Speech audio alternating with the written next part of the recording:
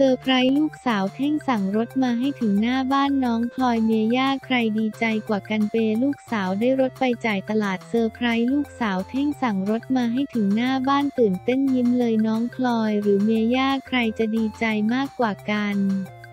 เท่งเถิดเทิงเผยคลิปพ่อเท่งถอยรถใหม่เอาใจน้องพลอย งานนี้ไม่รู้ว่าน้องพลอยหรือเมียย่าใครจะดีใจมากกว่ากันนะ โดยพ่อเท่งเห็นลูกสาวที่มีหน้าที่ต้องไปจ่ายกับข้าว บางทีต้องนั่งรถแท็กซี่เลยตัดสินใจซื้อรถให้ลูกสาวไว้ไปซื้อกับข้าวทำเอาน้องพลอยลูกสาวแทบไม่เชื่อคิดว่าพ่อแกล้งบอกสั่งแอบซื้อรถให้หนึ่งคันด้าน เท่งบอกไม่ได้ทำคลิปแกล้งสั่งจริง ๆ เห็นลูกมีหน้าที่ไปซื้อกับข้าว รถคันใหญ่ขับไปไม่สะดวกสั่งรถมาส่งถึงหน้าบ้านเลยน้องพลอยแอบยิ้มดีใจใหญ่ เพราะช่วงนี้พ่อไปถ่ายหนังพลอยต้องไปซื้อของมาทำกับข้าว เหมือนรู้ใจเลยอยู่อยู่ก็ได้เลยตื่นเต้นโดยพ่อเท่งบอกเซอร์ไพรส์ลูกสาวไปจ่ายกับข้าวที่ตลาด เมื่อรถมาส่งถึงบ้านน้องพลอยปลื้มเลยรถคันสีแดงพร้อมทั้งบอกว่าปกตินั่งแท็กซี่ รถมือสองแต่สวยมากให้มาลองขับถึงที่บ้านน้องพลอยถูกใจคันนี้เลยก่อนอีกวันจะส่งรถมาให้พร้อมใช้ รวมทั้งจัดการเรื่องเอกสารเรียบร้อย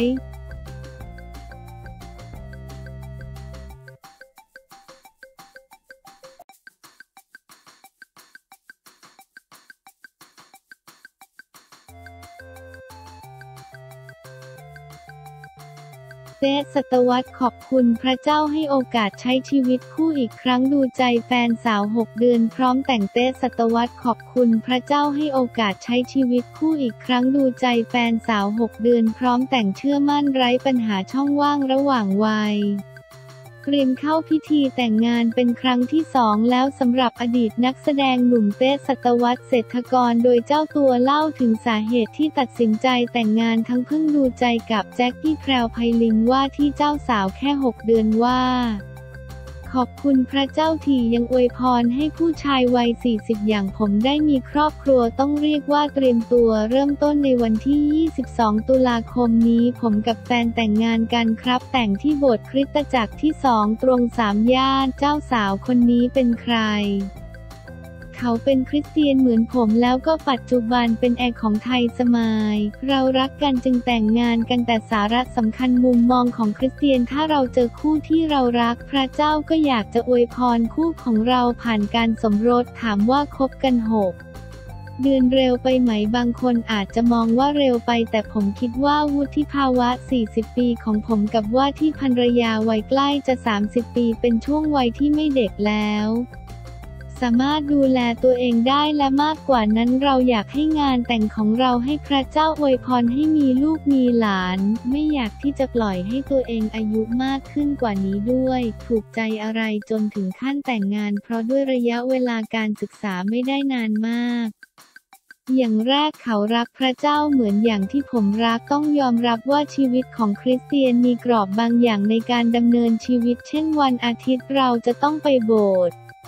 ถ้าสมมุติว่ามีคนมาเป็นคู่ชีวิตผมเขาจะไม่เข้าใจชีวิตธรรมเนียมในการใช้ชีวิตของผม มันยากที่จะใช้เวลาร่วมกันแต่เขาเองเป็นคนที่รักในพระเจ้าและสนับสนุนผมในภารกิจต่างๆ ถ้าเกิดคนที่ไม่เข้าใจชีวิตของผมมันอาจจะก่อให้เกิดความขัดแย้งได้ แต่เขาเองเป็นคนที่รักพระเจ้ามาก และด้วยชีวิตวัยเด็กของเขาจนโตขึ้นมามีความคล้ายกับผมพอสมควร คล้ายจนบางทีตกใจว่าเคยเผชิญปัญหาแบบนี้ด้วยเหรอ เมื่อสองคนมีความคล้ายกันในระดับที่สามารถพูดคุยได้เกือบทุกเรื่องผมคิดว่ามันเป็นประตูที่ดีในการที่เราจะเปิดใจอย่างรวดเร็ว ยอมรับว่า 6 เดือนเราก็เปิดใจกันอย่างรวดเร็วที่สำคัญที่สุดคืออยู่ด้วยแล้วมีความสุขแสดงว่า 6 เดือนที่ผ่านมาผ่านทุกข้อ เกือบทั้งหมดดีกว่าครับ เพราะคนเราก็ต้องมีความคิดที่แตกต่างกันบางส่วนเรามีความคิดที่แตกต่าง แต่ก็ไม่ได้ก่อปัญหาขึ้นมาอาจจะมีความคิดที่ไม่เหมือนกัน แต่สุดท้ายเราก็หาทางออกที่สามารถสมดุลกันได้อายุต่างกันค่อนข้างเยอะมีปัญหาในช่วงของวัยหรือเปล่า ห่างกัน 10 ปีนิดๆครับ ต้องยอมรับว่าช่วงอายุระหว่าง 30 กับ 40 มันดูเหมือนไกล แต่เจนเราอยู่ในเจนเดียวกันทัศนคติในการมองค่อนข้างที่จะใกล้กันยังไม่พบปัญหาช่วงวัยตรงนี้ ผมคิดว่าช่วงวัยไม่น่าที่จะเป็นปัญหาได้ ผมคิดว่าเรื่องการวางแผนอนาคตมากกว่าที่หลายคนกังวลยุคนี้ความเหลื่อมเรื่องของช่วงวัยไม่ใช่ปัญหาเท่าไหร่แล้วอยู่ที่ความสำคัญของเรามากกว่า ด้วยระยะเวลาที่คบกันไม่นานตอนที่เราขอแต่งงานเขาตกใจหรือเปล่าเรื่องของการแต่งงานเป็นการพูดคุยกันมากกว่าไม่ได้เป็นเรื่องอะไรที่เซอร์ไพรส์จริง ๆ 3 เดือนแรกก็เริ่มคิดว่ามันใช่เขาเองก็เห็นดีด้วยรู้สึกว่าเราก็น่ารักก็เลยเป็นบทสนทนาที่เราคุยกันมาสักระยะหนึ่งแล้วพอถึงจุดที่อิ่มตัวเราก็มานั่งคุยกัน ในเมื่อเราคิดเหมือนกันเราก็มาแต่งงานกันนะเป็นการคุยแบบนี้ไม่มีการเซอร์ไพรส์ครอบครัวทั้งสองฝ่ายว่าอย่างไรบ้าง โอเคครับได้มีโอกาสพูดคุยกันแล้ว งานแต่งจะเป็นอย่างไรบ้าง เป็นงานเล็กๆครับ เชิญแขกไม่กี่ร้อยคน ด้วยขนาดของคริสตจักรด้วยเป็นเพื่อนๆพี่น้องสมาชิกและญาติของทั้งสองฝั่งมาร่วมงาน พร้อมที่จะมีลูกหรือยัง ผมเองก็อยากที่จะเล่นกับลูกของผม วิ่งกับลูกโดยที่หัวเข่าไม่ดังเป็นประทัด คิดว่าถ้าเกิดพระเจ้าอวยพรก็ปล่อยให้เป็นน้ำพระทัยของพระเจ้า แต่สิ่งหนึ่งที่ผมรู้สึกขอบคุณพระเจ้า ก่อนหน้านี้ผมเป็นคนที่ยอมแพ้ในเรื่องของชีวิตคู่ไปแล้ว หลายท่านคงทราบว่านี่เป็นการแต่งงานครั้งที่สองของผม ผมรู้สึกว่าการแต่งงานครั้งแรกของผมเป็นประสบการณ์ที่ดีมากๆ แต่ด้วยความที่เป็นผู้ชายที่ไม่น่ารัก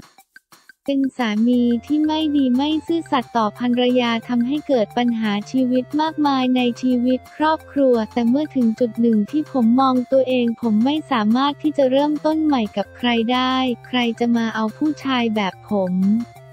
พระเจ้าได้เปลี่ยนและให้โอกาสผมในช่วงสี่ปีที่ผ่านมาพระเจ้าก็ช่วยขัดเกลาทั้งตีทั้งทุบทั้งสอนใหม่ให้เราเริ่มต้นใหม่ให้